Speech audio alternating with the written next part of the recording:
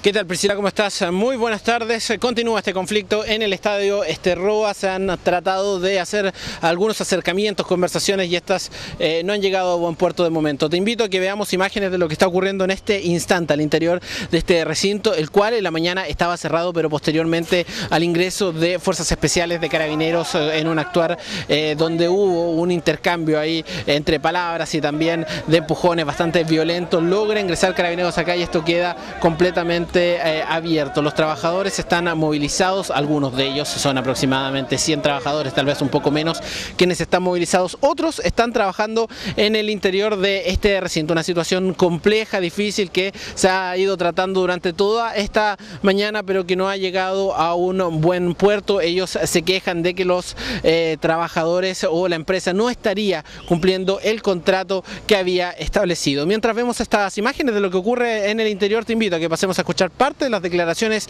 de los trabajadores respecto a este conflicto se presenta nuevamente un petitorio de trabajo, pero básicamente y en función de lo que ya habíamos conversado. Lo importante no es hacer nuevamente una negociación, sino que se firme por lo que se debe y cómo se debe. Para eso tenemos legislación laboral y la empresa está obligada a cumplirla. Era que a la gente que fuera desvinculada se le cancelara la suma de 150 mil pesos a las, personas que llevan más de un mes trabajando aquí en la empresa, en la cual ellos cambiaron las normas y decidieron pagarlo a la gente que llegaba al final de la, construcción de la obra, que lógicamente eh, van a ser unos, un 10% de la gente que está trabajando en este momento.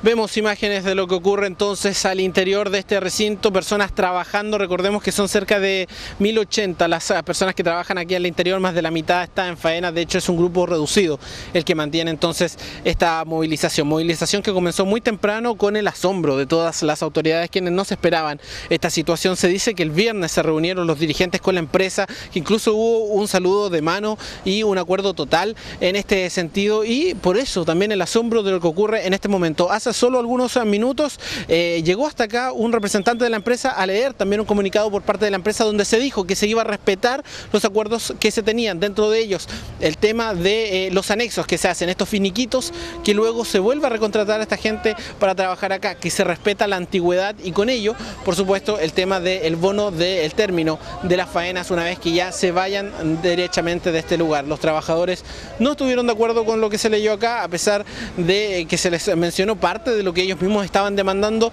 pero acá se dijo que no estaban eh, muy conformes eh, con estas respuestas y se mantiene un grupo aquí movilizado. Estuvimos conversando con el intendente de la región del Biobío, se refirió a esta situación compleja, dice que no se descarta tomar acciones legales al respecto, incluso si en mayo este estadio no está listo, no hay Copa América en Concepción. Pasemos a escuchar sus declaraciones.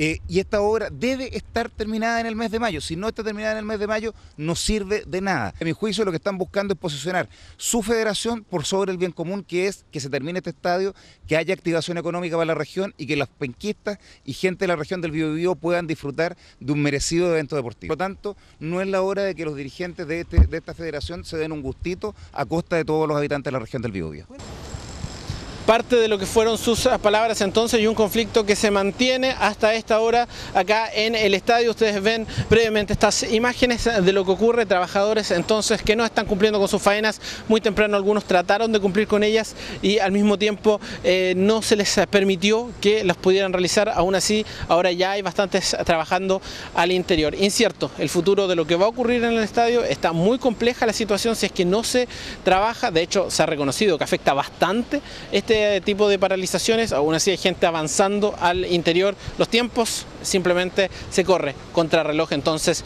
para ver si este estadio está listo o no para Copa América en este aspecto. Todos los detalles, como siempre, en nuestra edición central 21 a 15 horas. Que estén bien. Buenas tardes.